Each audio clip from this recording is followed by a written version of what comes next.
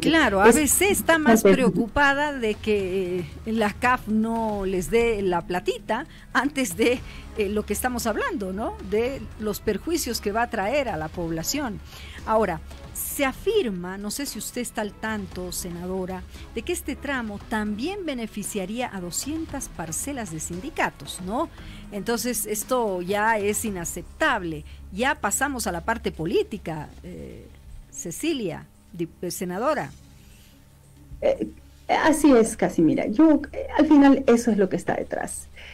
Es, es que es increíble, son los intereses de unas cuantas personas que tienen acceso al poder, que causan un daño económico al Estado de un bloqueo de 10 días y que encima lo que nos plantean es algo que, que, al final termina destruyendo el bien común de todos, incluidas estas personas que hoy día están bloqueando exigiendo un trazo de cocida.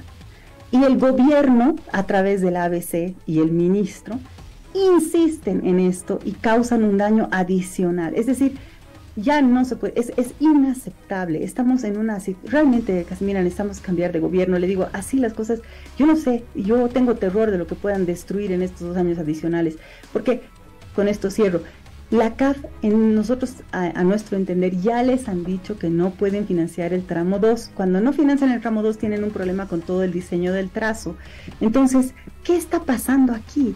¿Qué intereses hay detrás? Yo quisiera invitar al presidente Arce a que ponga en duda las actuaciones de su ministro Montaño, que ya nos ha dado varias señales de ser una persona que es cualquier cosa menos un ministro adecuado de obras públicas, es un activista político, es alguien que utiliza recursos del Estado para entrenar a su, imagínense, a sus servidores públicos como si fueran soldados ahí gritando cosas así de manera absolutamente ridícula, es un ministro que agrede, es un ministro realmente desastroso y ese es el ministro que está detrás de para no mencionar al señor Mina, que es un señor de ABC acusado de corrupción, por ejemplo, en la carretera de Sucre y Amparaes. Estamos en manos de estos de estos personajes que ya son pues impresentables y que no tienen ni siquiera un poco de conciencia para informarse, porque ya les están diciendo, les están explicando, les están mostrando los trazos, les han mostrado los estudios que demuestran que lo que ellos quieren hacer es fatal para todo el mundo, empezando por Santa Cruz. No les importa. Y quiero decir algo más y denunciar esto, Casimira.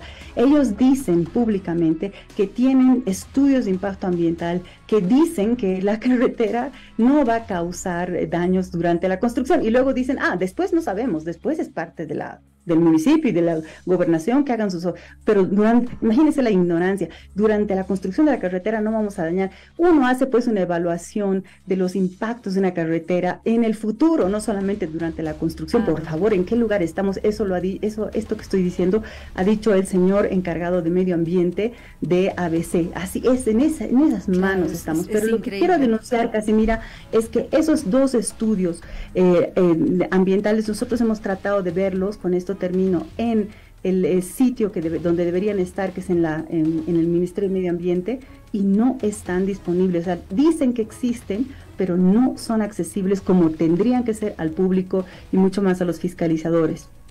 Senadora, agárrese porque me está llegando